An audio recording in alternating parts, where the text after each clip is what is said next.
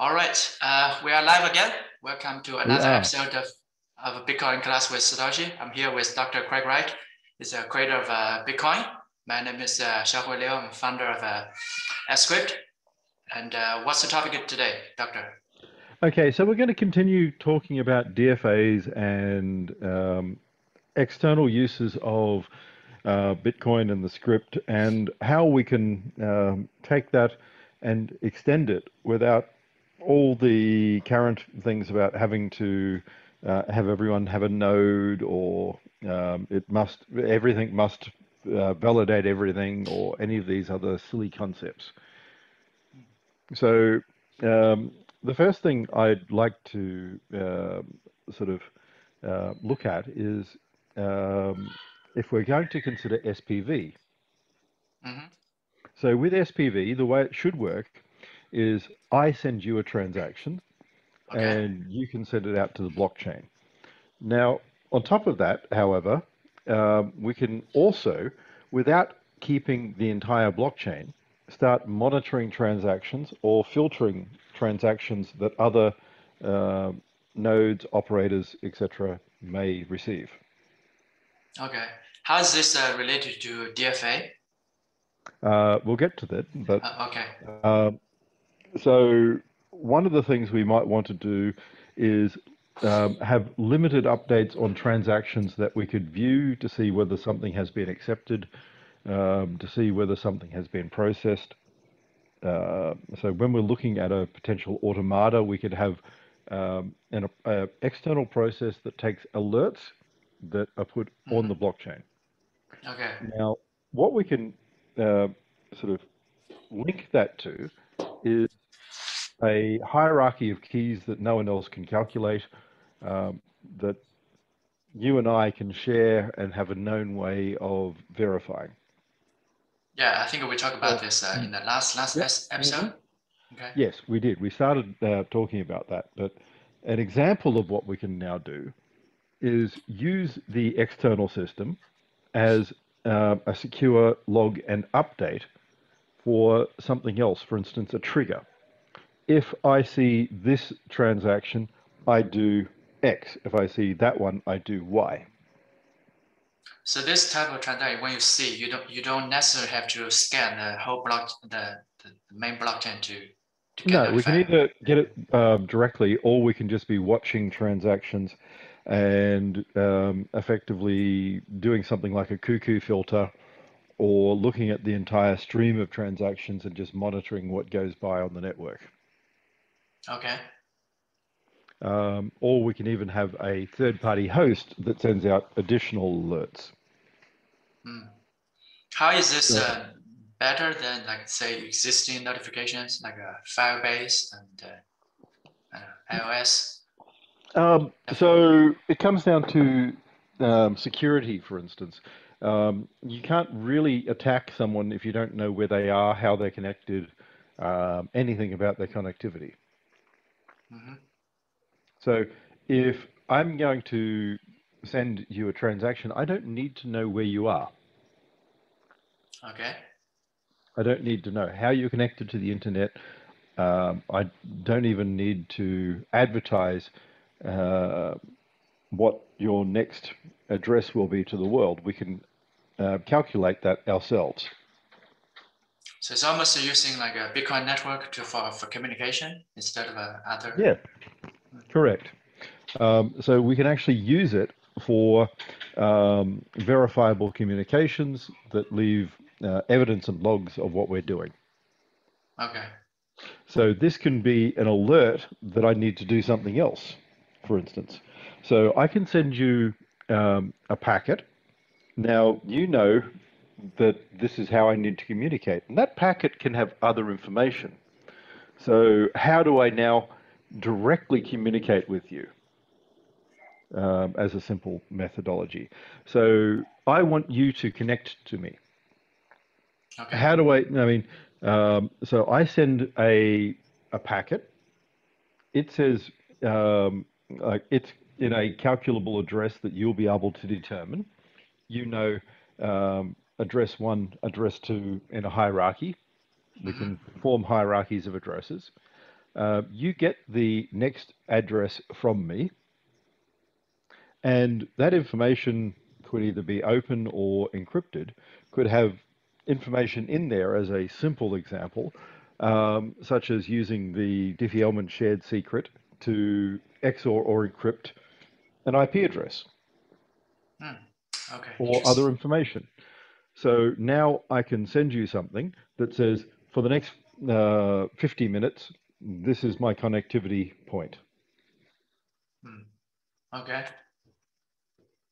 So now you know that if you're going to connect to me, this is where you have to connect to. Is this mostly for like uh, privacy or? Um, privacy and security. Okay. Uh, as I said, if you're um, setting up a network of uh, sort of connectivity between individuals, such as in a corporation, um, they're going to be connected on the open internet.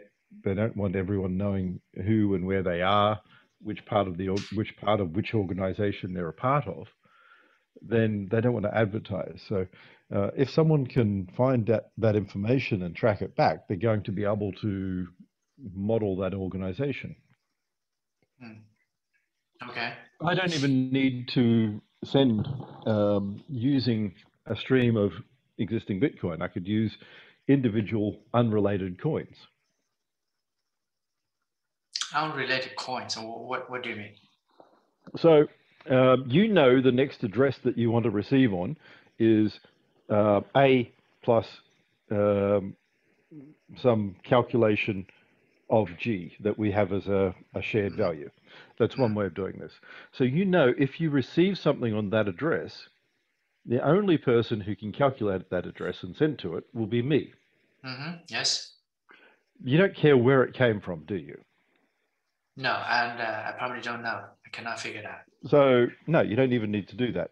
But that could even have a new encryption by having the address that I sent it from use a new version of the Diffie-Hellman key hmm that we now encrypt with. So you now see uh, there's a message. Uh, it's from this new source. The calculation of the new address is fine.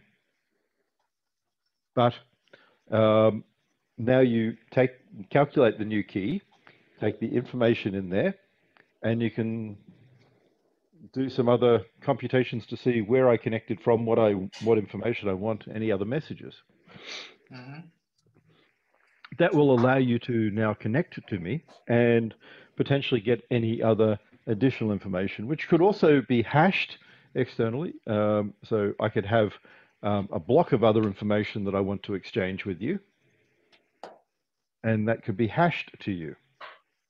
Okay. Yeah, just trying to uh, play devil's advocate here. I think uh, uh, because, uh, for example, right now we are even communicating over the open internet, right? So a lot of people can monitor our traffic. So for uh, some people use a VPN. And how is this? Uh, is different, or it can be part of the VPN, or Oh, it can form its own VPN, okay. but point to point. Th- So I could, so for instance, I could set up um, uh, something that communicates to you, says this is my uh, connectivity point. This is the uh, key requirements, uh, how uh, I require you to connect, and Mhm. then we start exchanging information. Okay. So is it more secure than VPN? Because VPN, you may somehow you got Well, it's still a VPN, but how do you initiate a VPN? okay. What happens when you move to a new address? Mm. if you have a single VPN point, everyone knows where to try and attack it, where to connect to it, what, how to scan for IP addresses, and um, how to then scan for passwords and, and check for vulnerabilities. I see. Okay. So imagine if you had to try and scan the IPv6 network. And exactly. Um, so imagine now that you're a random IPv6 um, address that pops up and that I can connect to. Mm-hmm. Yeah, it's much. So how long? Yeah. So the attacker might then be able to go, haha, I'm going to monitor things. Mhm. So what? It's encrypted. But they don't even know whose encrypted channel it is anymore.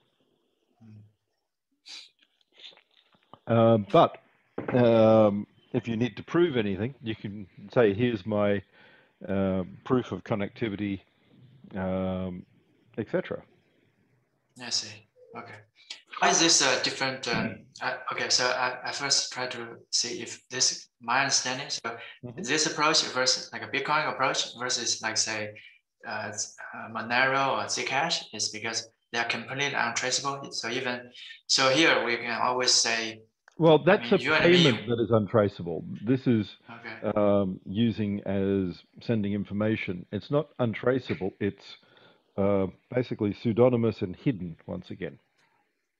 Okay, So it's not like I am um, completely anonymous. I'm not. I actually leave an audit trail. hmm yeah, because uh, the information whatever we exchange it ends up on. Yeah, and if I'm a bad guy, the last thing I want is um, an audit trail. Okay, yeah, that's I don't know. Uh, Maybe that's here's my audit people- trail of all my nefarious activities. Ha ha ha. Mhm. I mean, that only happens in old James Bond movies. And maybe Austin Powers, but he's just spoofing Mhm. them. Yeah, somehow it's, uh, both British. Yeah, I don't know. Yeah. hmm So um, now this doesn't need to be people either. Machines. It can be machines. Machines. hmm So if we want to set up communication processes for Internet of Things, Okay. One of the difficulties in um, setting up uh, Internet of Things and IPv6 is how do we send all of the differential information that is required to open channels, to maintain channels, to keep them secure without having a big database of uh, connectivity? How about if we could set up a base root key and derivatives on either side, and we could watch and monitor information going back and forwards between them. Mm. That will now allow us to even have the encryption between these devices set. By monitoring, you are not. Uh, it's not necessarily you are you are monitoring all the transactions on the entire Bitcoin network. No, what we would want to do if we have small IoT machines is have a variety of different gateways that they connect to. Okay. So, um, one of the areas I learnt from sort of the hard way in trying to stop some of this was in the creation of botnets um, to be able to run these very big networks, like sometimes tens of millions of machines in the past, Conficker, etc. Um, the bad guys created a hierarchy of command and control servers hmm we can do the same thing, but to secure networks. So I can send out a message that will be seen by some of the command servers that then can distribute independently to each um, IoT machine and update as needed. hmm So they can send direct links, but to a subsystem or hierarchy of all these other machines. Uh, versus the current approach Mm-hmm. is um, uh, where does the additional security come from? Um, because it's uh, a lot of information is hidden because you have uh, using all this. Uh, I don't know. It's not only hidden, and- it's also um, authenticated. The-. The key process um, in, um, in, in how we, we do this, the, the distribution of, of public-private key pairs, the creation of uh, known um, address structures means that we can authenticate the host and get information. Only that host will know the challenge, the same as in a challenge response scheme. Mhm. So I can do a challenge response scheme, uh, scheme over Bitcoin addresses and updates. okay. Um, so similar um, do you understand how um, Kerberos or Cerebos, depending on how you want to say it, works? Uh, not much, no. Uh, well, we could mirror some of that and create a token distribution system that sits on top of Bitcoin. Is this uh, related to the KPI or is different thing? Um, a bit different. Okay. Um, it it's I mean it can be related and you can use PKI, um, but we can have unrelated uh, key structures that are used the same way as Windows Active Directory or Kerberos on um, Linux um, to send tokens. And those tokens can be um, payment channels that periodically save and um, record information on the blockchain. Um, so I can send you a Bitcoin um, transaction that actually also is a token.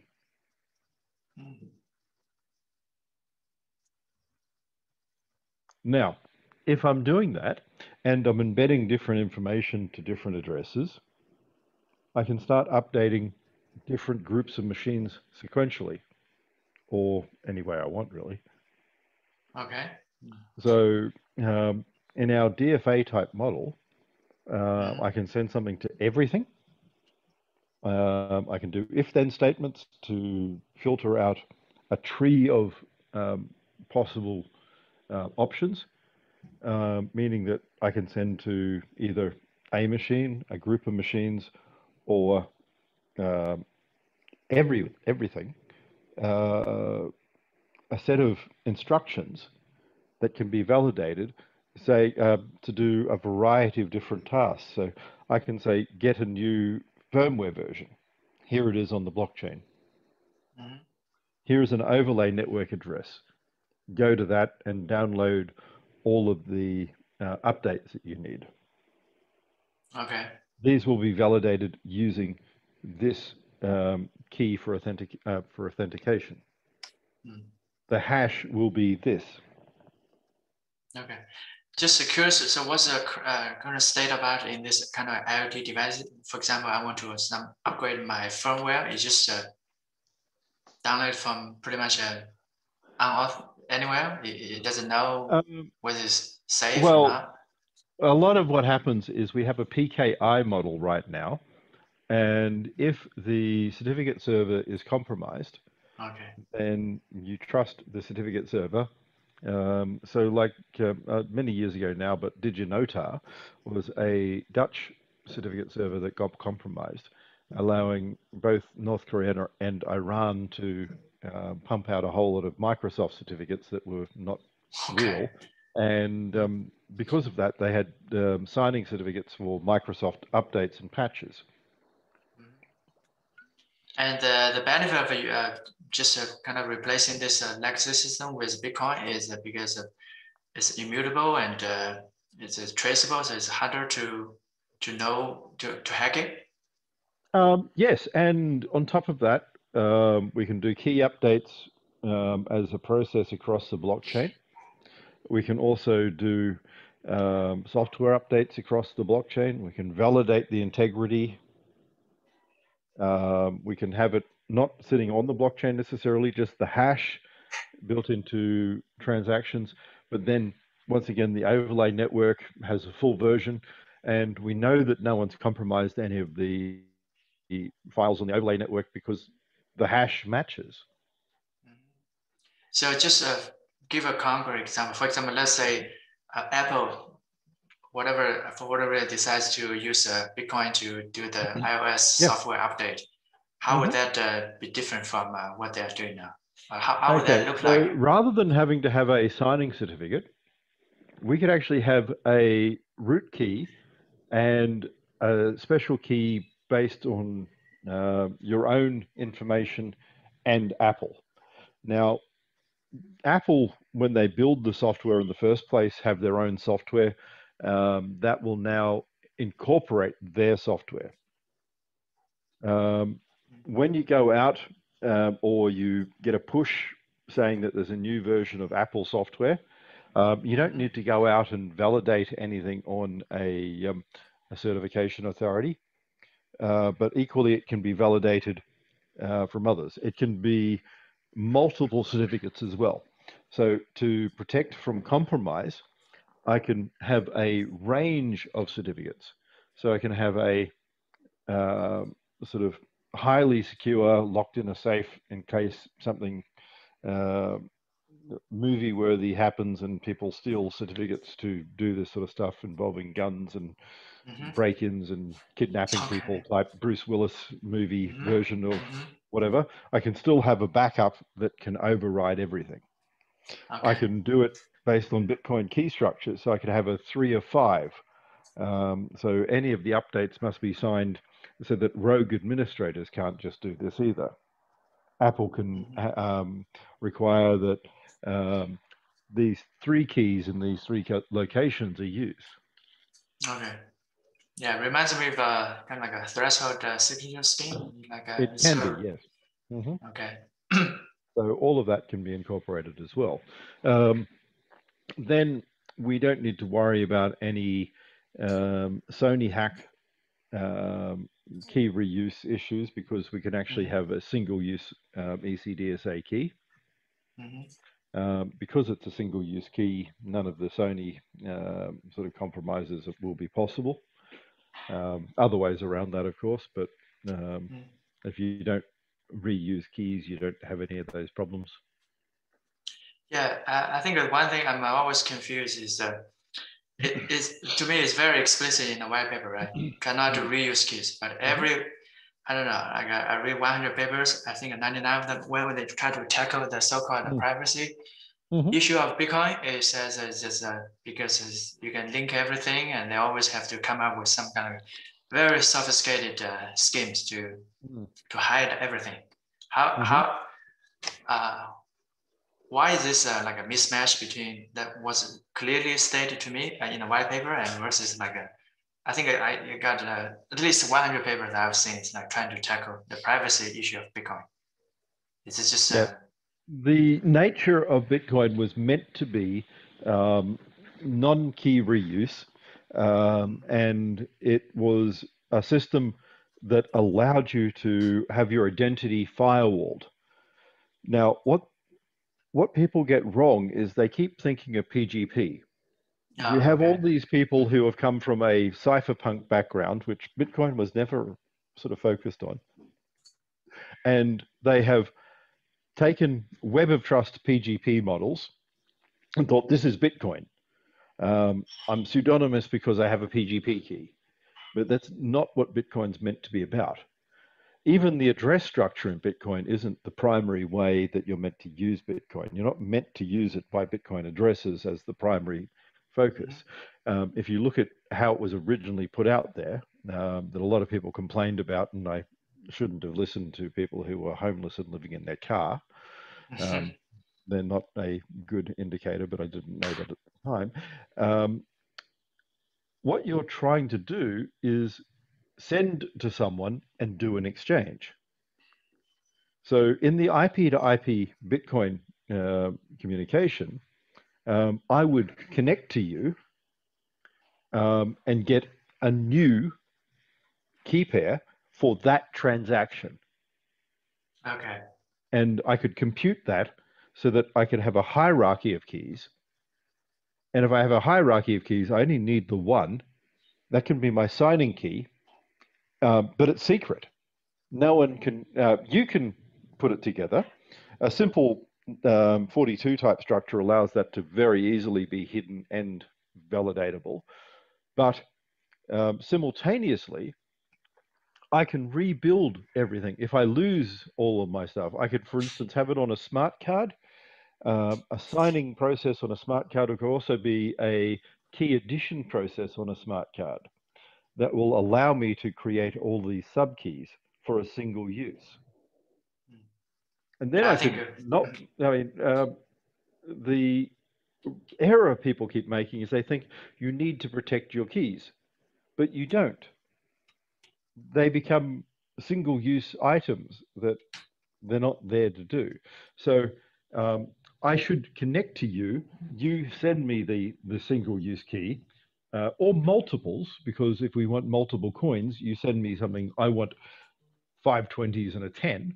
so to speak, like the way money used to work, um, that's what you tell me, and I send you a transaction that way, either from multiple keys of my own, uh, multiple coins of my own, to multiple coins of yours, or however else you want it. Okay. Now, So two, what we were two talking questions. about, uh, though, Mhm. Can I ask Sorry? two questions here? Yeah. First is how, how do I, so you have a primary, almost like a master key that's, uh, Mm-hmm. for example, displayed in your website or, I don't know, uh, some kind of like a personal Um, directory. it could So there's a variety of different ways. It could be a government issued key. okay, that's, but that's only used when we first do the first handshake. I want to get a new key, but I, it's not uh, used to send Bitcoins. No, no, I wouldn't use that to send Bitcoin at all. Okay.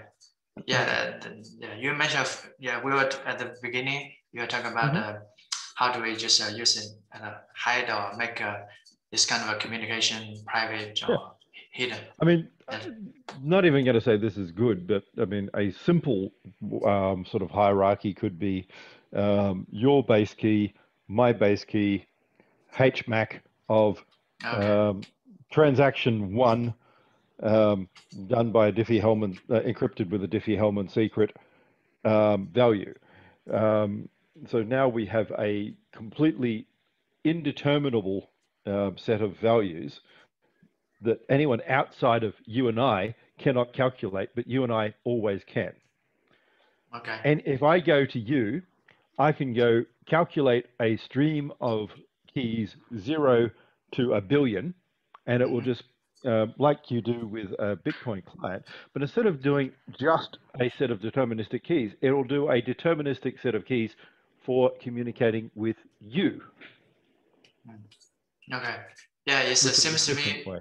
kind of extension. of, Uh, this is idea of extending. We talk about last last class, last Mm. class, last class. We talk about uh, uh, Bitcoin addresses for Mhm. receive payments, but here, not only for payment, but also can be for communication. Again, further, Mhm. you can have uh, once you have a secure communication, then you can Mm. discuss what uh, what's the next uh, key you are going to use or whatever. Mhm. Yep. Okay, so that brings me to my second question. I, I Mm. think a lot of people are trying to attack, uh, saying, "Oh, even you don't reuse keys, right? But what if, uh, let's say, uh, I send you two Bitcoin, uh, one Bitcoin to address A and then that to, to B. So when you Mhm. try to pay somebody three Bitcoins, you may Mhm. because I, you you kind of bundle the inputs, right? From there, I kind of can link these two addresses, kind of like a, you know, owned by the same person. Uh, how- what's the of argument about this? Saying wherever you put multiple inputs together. But you don't do that.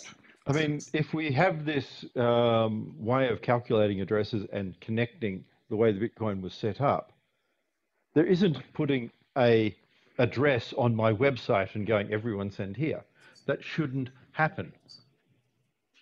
So Okay. the address formula for Bitcoin um, is calculable.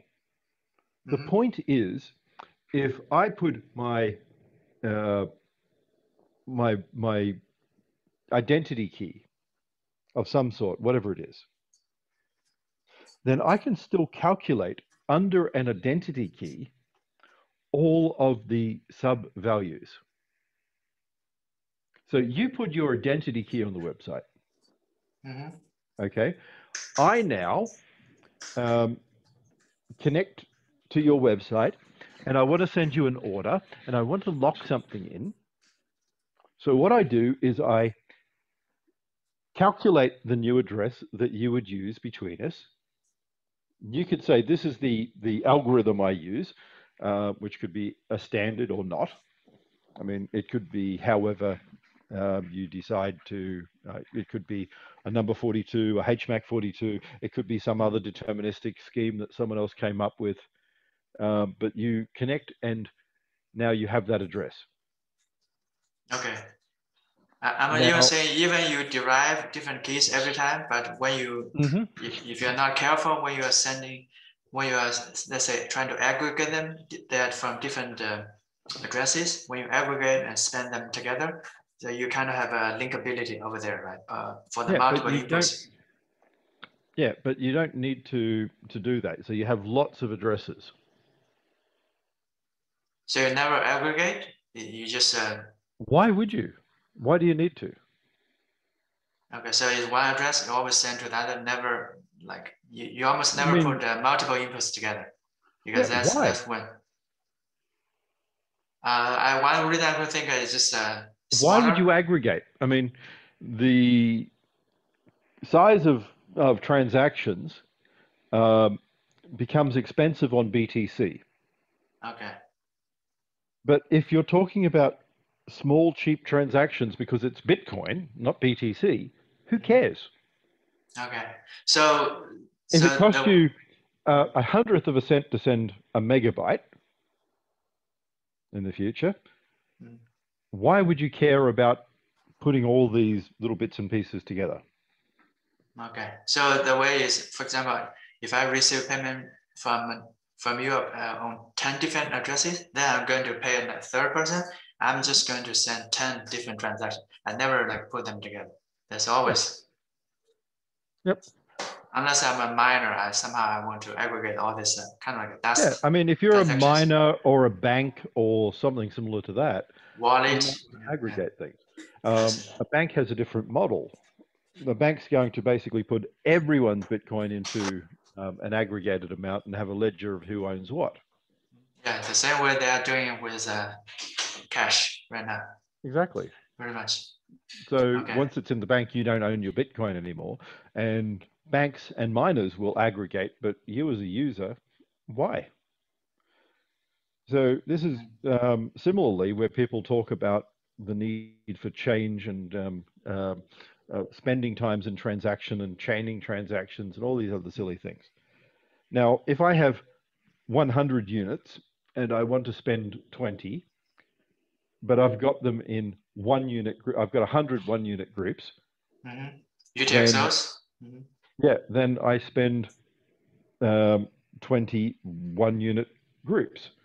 If I have a 100 unit group, then I have to split that. Um, so there will be times when you want to split, but equally, if you don't have to, don't worry.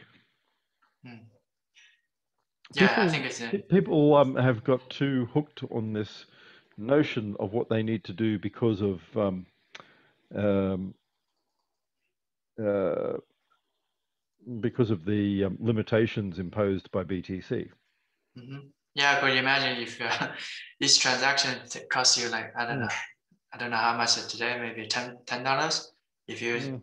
you know can aggregate, probably can save you one dollar or two. Yeah, that's reasonable. But uh, if it's just a fraction of a Mm. cent, uh, you probably No, I mean, if you're going to be looking at the difference between um, a hundredth of a cent and uh, one hundred and one uh, of a cent, okay. um, I mean, really?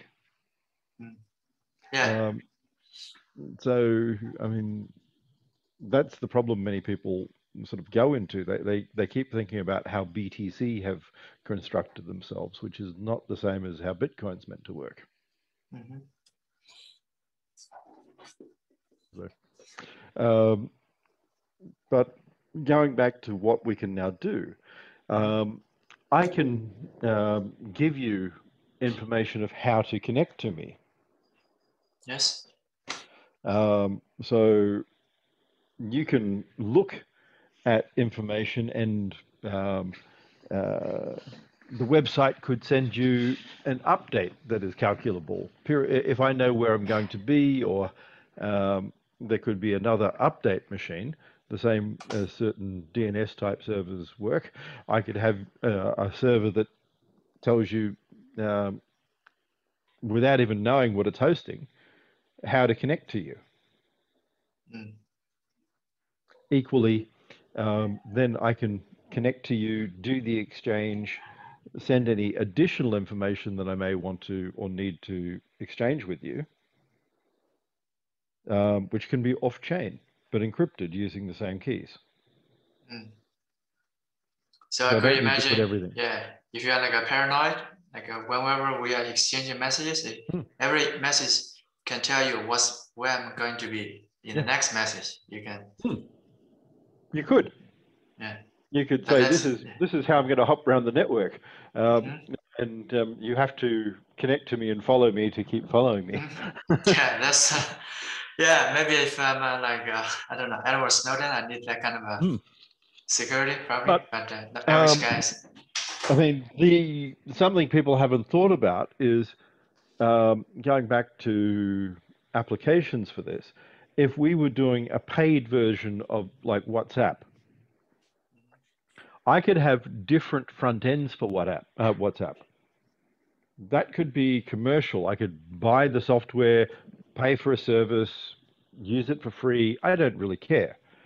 The difference is the backend and the communication channel would be the same as the web right now. I could use Chrome or I could use Mozilla or I could use Edge. I don't care.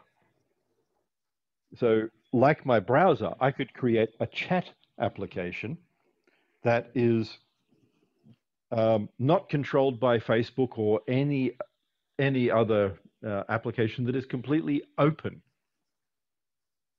Okay, is it because the the backend is uh, based on Bitcoin, so everything yes. is uh, yes.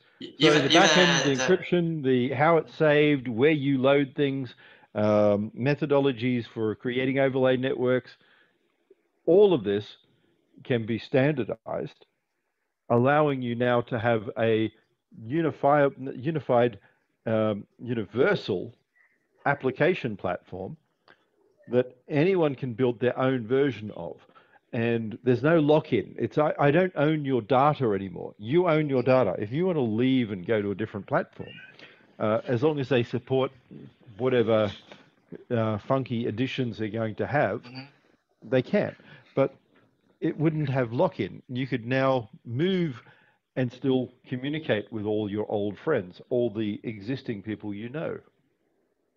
So for this to work, uh, does the, the let's say chat history or messages that do they have to be stored just on chain or they can be not necessarily. Um, they could be off chain and verified.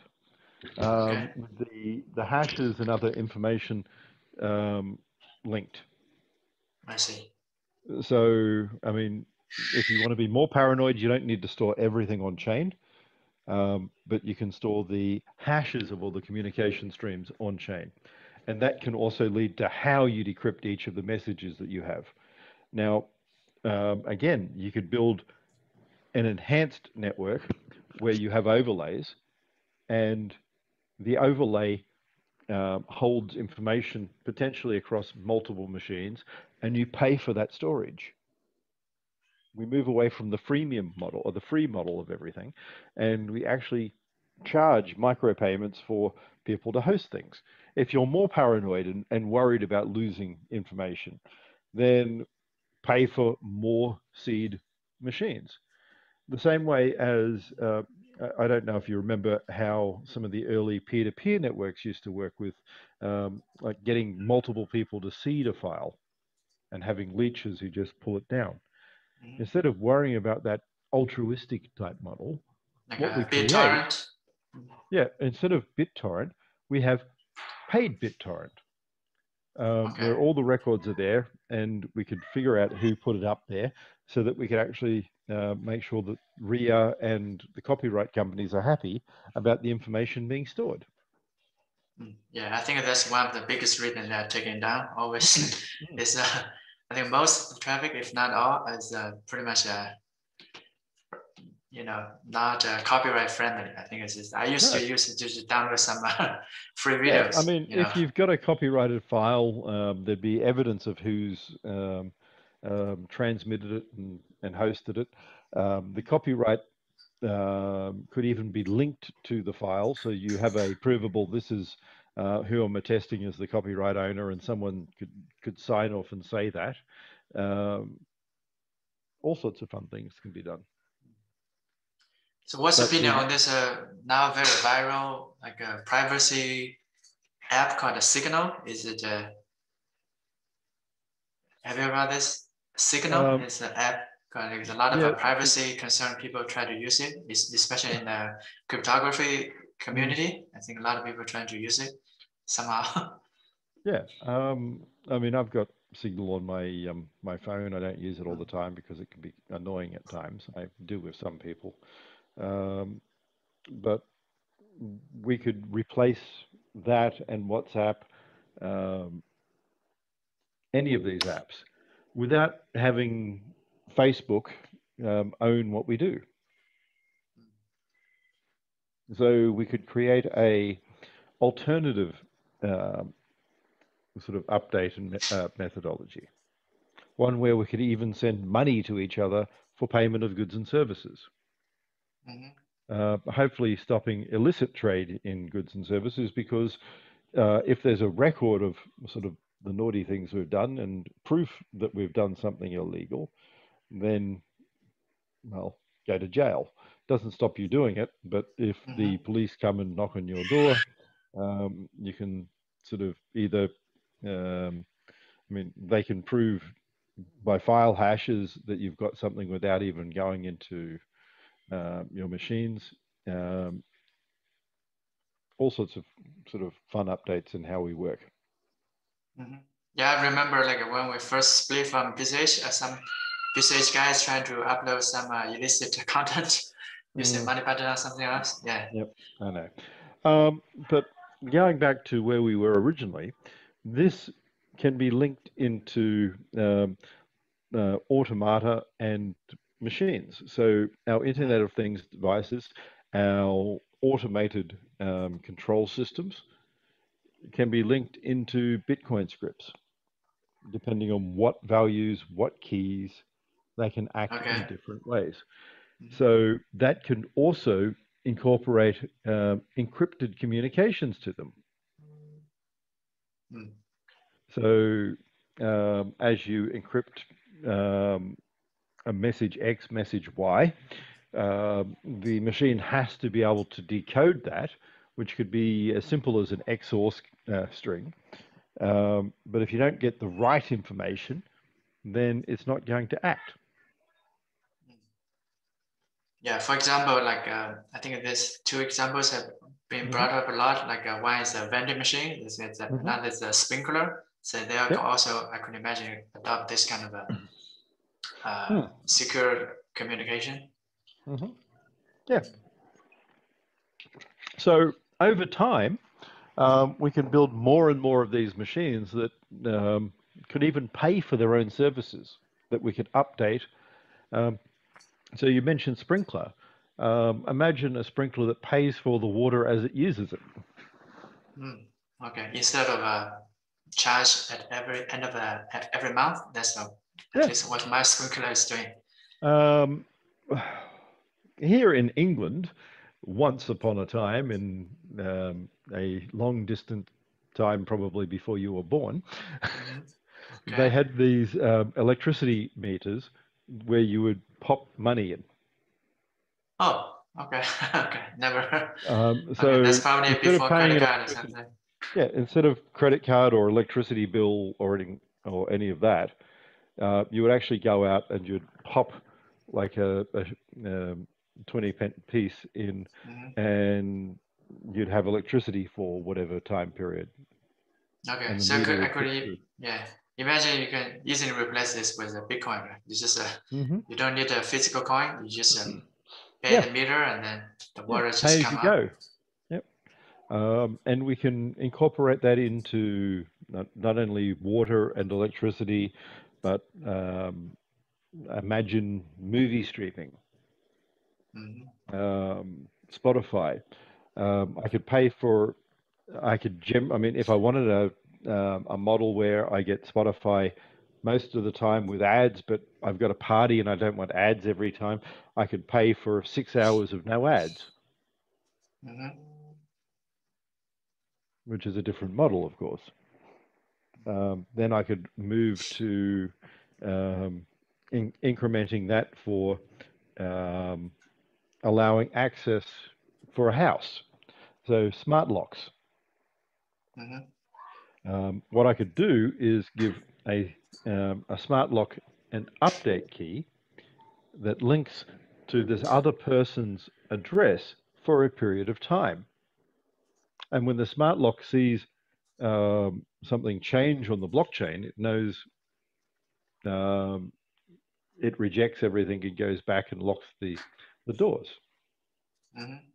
I think this uh, I think this begs a question. I think I have have have uh, from the beginning of this episode. So basically, uh, you somehow this kind of a low capacity, like a, even IoT device like a lock, a sprinkler, mm-hmm. somehow you mm-hmm. can get update from the blockchain. Yes. So I could imagine they they will never be able to scan the whole thing. How how do they get this uh, specific notification, the target to them? Only they they need to care about, right? Is no, that's why I'm saying that we want to create overlay networks. Overlay, okay, that makes sense because you, yeah, Sprinkler probably a vending machine, but mm. not cannot uh, store full node or so, scan. Um, Bitcoin doesn't replace middlemen. That's where people okay. go wrong. Trusted third parties doesn't mean no middlemen, um, and it doesn't mean no intermediary systems. Mm. Um, like my IoT dumb device uh, very simple device can connect to this other machine that it can uh, trust. It could be not just a machine either. Remember, we can have multiple machines in a peer network, which could even be uh, sort of commercially validated. So I could have people paid to provide the services where they monitor the blockchain. Mm-hmm. And these 10 nodes, all none of whom know each other, okay. monitor the blockchain and send alerts to my machine on an SPV basis. So you can do kind of like a quorum voting mm-hmm. stuff, whatever goes the majority. And it's not even voting uh, because um, does this exist on the blockchain? Yes or no. Is it my key? Yes or no. Okay. So we're not even sitting there going, uh, is it valid or, um, I mean, we're just getting a sufficient number of machines have seen this and sent it. And yes, this... I, I, I might not trust everything uh, that comes from a machine. I might think that maybe they're doing a um, a double spend or something silly uh, and have an alternate version of the blockchain that somehow they're hacking everything, I'd want to be extra sort of cautious and monitor everything multiple times. So I'm going to only uh, take it if it comes from three machines, none of whom know each other. Okay. Yeah, since we just talk about this, I, I think uh, what's the technical difference between the trust third party and uh, intermediary or middleman? Because I think in the white paper, it's only says a trusted third party, right? Yeah, so, trusted third parties are a fiduciary. So okay. they are individuals um, that act not only as a middleman, um, but have roles in uh, processing AML, KYC, um, for instance, credit card companies, um, banks, etc they not only monitor um, what you're doing, but record, uh, like check for fraud, do all sorts of other funky things. That's what we're trying to remove. That's expensive. Now, AML doesn't go away if you're doing large transactions. Yeah, yeah. You talk about a lot of like uh, if you buy a car or house, Yep. probably always I mean, it doesn't to. matter. It doesn't matter what you're using. If you're buying with Bitcoin, you still need to do AML. Yeah, with, with uh, washes. to get rid of that. Um, but as I keep saying, AML doesn't matter if you're doing a hundred dollar transaction. If I'm spending fifty pounds, no AML. If I've got five hundred yen, no AML.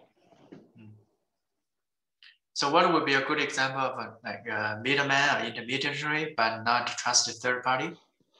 Um, uh, anyone sending information and aggregating it. So if I was um, acting as eBay, then that's a third party. Bitcoin's not about this whole everything's decentralized BS. It's not efficient. There's a reason why that doesn't happen everywhere. Why every single person in the world doesn't track down every other single person in the world and personally validate all their information and personally make sure, because it's just completely inefficient. No one will ever want to do that. um, Bitcoin's a, an economically efficient system. It's not a system for decentralizing um, the internet, um, as people like this decentralization BS. It's a distributed platform. There's a difference. Um, there's no we're politically going to take over the world. Um, sorry, not Bitcoin. Find something else. Um, not willing to help you uh, do your junk. yeah, but somehow, yeah, these people are always here. I, I don't know why, but they seem to. I mean, they don't even know what decentralized means. I mean, it's decentralized finance, and um, so what? What's the benefit of decentralized finance? Um, it's more expensive. Uh, it just increases fraud. Um, decentralized finance is the um, uh, sort of catch cry of every single um, uh, scammer, as I keep saying, in in Earth. Yeah, I think you you you give us some uh, like a reference. They're using the same term 100 years ago. Yes, in some kind of a bucket shop scheme. It's the same yes. word. That's that's kind mm-hmm. of very amazing. mm. Yeah. So, um, what we're not trying to do is get rid of people who are um, acting to efficiently aggregate services. We won't get rid of real estate agents. We won't get rid of lawyers. All this, Bitcoin gets rid of all this. No, it doesn't. Nor should it. There's a reason we go to real estate agents because do you want to look through 1 million houses? There's probably a million houses up for sale. So people in Silicon Valley will go, We can save you time. You just go to our website. But then they're a middleman, aren't they? Mm-hmm. They are saying, We can automate that real estate's process and give you um, what we think, because we've got um, um, uh, actual ignorance uh, processes, AI, uh, and our actual ignorance uh, system will statistically give you garbage that has nothing to do with what you want. Mm-hmm. Yeah, you it's sound like the best uh, actual ignorance in the world. Sounds like uh, some of the pitch you can hear on some of the TechCrunch. Yeah. Yeah, um, I mean, at least Amazon are honest with Amazon Turk, um, uh, which is a play on um, the mechanical Turk mm-hmm. uh, in the 17th century, where a chess playing robot actually uh, was a fraud that went on for years. There was a man in the robot, a dwarf, uh, who was playing chess. Um, this is artificial intelligence. Um, it's the mechanical man uh, which is someone in Bangladesh or Poland or whatever other country they're using, sitting there making all the transactions and pretending that it's a computer intelligence. It's not. So uh, when is it uh, more efficient to use in Bitcoin instead of something like a more expensive, uh, let's say trust third party or middleman? Is this um, uh, I mean, that's going to vary. I mean, there's no one answer. Um, but um, it, it's a Coasian problem where uh, it's transaction costs, and, and the transaction costs in Bitcoin can be lowered. If I can now have your identity plus privacy, that drastically reduces the transactional friction between individuals. It, it means that we can negotiate um, securely. I can tell you are a trusted entity. I can do negotiations with you. I can transact with you. I don't need to go and verify your identity all the time. For instance, I can validate that um, Mr. Liu over here has um, a US passport key, and that has linked in uh, on the blockchain, and I validated that you, your degree is real, um, that you have actually got these valid professional certifications, that you did this work yourself, that you've worked for this organization. Um, and I can quickly put all that together not like even uh, LinkedIn with um, trust it because lots of people have uh, said that it's real. Mm-hmm. I mean, honestly, um, at one when I used to have social media at one point on LinkedIn alone, I had twenty thousand people connected to me. Wow. I mean, okay. so do you really think that 20,000 random people who I've never met can validate and vouch for me? So, no. I mean, who would you trust more? Um, someone that um, is a friend of a friend of a friend who has vouched for whatever I've done, or the university?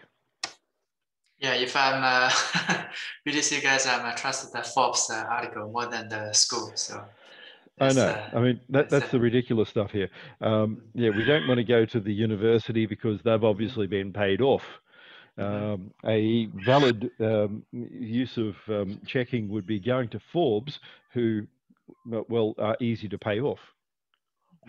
yeah, that's the word. I think uh, the service uh, you just built, uh, yeah, I could imagine you can be the first guy. You, you are probably one of the best person, the user for it because, mm. you know, a lot of people saying that degrees are not you can just you know verify it yourself so exactly um, for instance in um, australia now uh, we have a uh, a platform for verification of pdfs and degrees um, which I find ridiculously hard to get through to American universities when I, I start with them.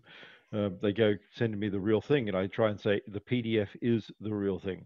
And they go, no, no, no, give me the the paper copy and we'll get it validated. I'm going, no. In Australia, we have electronic documents, and you can verify them because they're digitally signed by the universities. And ugh, Americans can be slow uh, on these technologies.